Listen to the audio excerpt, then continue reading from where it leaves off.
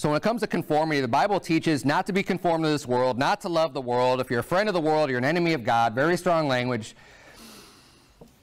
But the Bible also teaches us in Romans chapter 8, look at verse 28, the Bible says, And we know that all things work together for good to them that love God, to them who are the called according to his purpose. Verse 29, For whom he did foreknow, he also did predestinate to be conformed to the image of his Son, that he might be the firstborn among many brethren. So while we're not to be conformed to this world, we are to be conformed to the image of Jesus Christ. That that's who we are to be conformed to, and you know that's who we're supposed to be modeling ourselves after. And there's a culture that would teach you know nonconformity in a sense of just I'm not going to follow anyone at all, and even people use, you know, we use the term sheeple a lot. And usually when you hear the word sheeple, it's referring to people who just kind of ignorant and just follow whatever. But the Bible does refer, refer to Christians as being sheep. And it's not because God wants you ignorant or that you can't think for yourself, but it's because good sheep will listen and follow, and we are to be followers of our Lord and Savior Jesus Christ. And if you're a good Christian, you'll be a good sheep in that you're going to follow the Lord Jesus Christ. So we're not supposed to just be total nonconformity to everything and just go your own way and just do your own thing and follow your own heart and not be conformed to anything at all. There are people out there that will teach that and subscribe to that and, and make you think that, oh, that's the right way. I'm not going to listen to any man. I'm not going to listen to any book. I'm not going to listen, you know. That's wicked.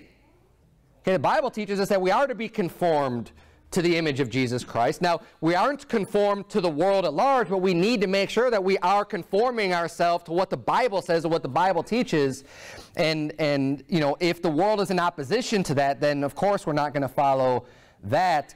But it has nothing to do with being mindless or, you know, being, being a sheeple because we're stupid or ignorant, but it's being a sheep in the sense that we're going to follow the voice of the good shepherd and we're going to we're gonna stay close to him because he's going to guide us and he's going to navigate us and he's going to keep us from the evil that's out there. Because that's what a good shepherd does, watch over the sheep. So we are to be conformed to Jesus Christ. The Bible says, turn if you would to Acts chapter 4.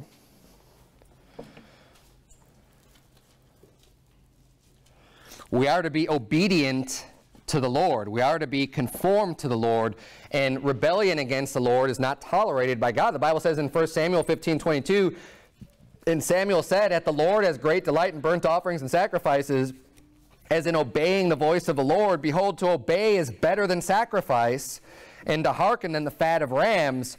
For rebellion is as the sin of witchcraft, and stubbornness is as iniquity and idolatry, because thou hast rejected the word of the Lord, he hath also rejected thee from being king. Why am I bringing this up? Because if you get too much of an attitude of being a nonconformist, you could end up finding yourself in rebellion to God and not wanting to conform to the Bible standards, to the Bible's truth, and, and to God's laws. We don't want to go so far as being this nonconformist in anything that all of a sudden now you're finding yourself in rebellion to God, which the Bible says rebellion is as the sin of witchcraft.